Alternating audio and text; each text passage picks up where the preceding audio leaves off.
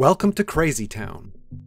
It's a tiny sliver of rocky shoreline, roughly the size of a soccer pitch.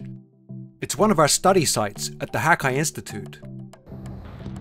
This place gets relentlessly battered by powerful waves rolling in from the open Pacific Ocean. At first glance, it doesn't look that hospitable, but a closer look reveals a site bustling with life. The tremendous quantity of plants and animals found here inspired ecologists to name the place Crazy Town. Crazy Town sits on the outer coast of Calvert Island, around the corner from our Ecological Observatory on the central coast of British Columbia. Life here has evolved to thrive in these turbulent and often violent conditions. This makes it an ideal place to study ecology in the rocky intertidal.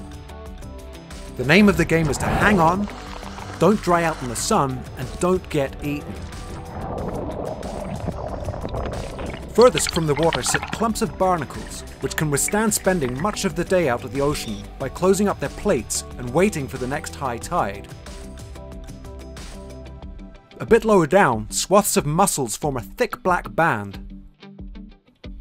Nooks and crannies between the shells offer a safe place to hide for numerous other critters, from crabs to snails. There's a sweet spot in the intertidal where the mussel's main predator, the ochre sea star, has trouble holding on to feed in the surging waves. But the mussels themselves manage to hang on here using strong filaments called byssal threads. Below the mussels, kelp and algae hang on even tighter.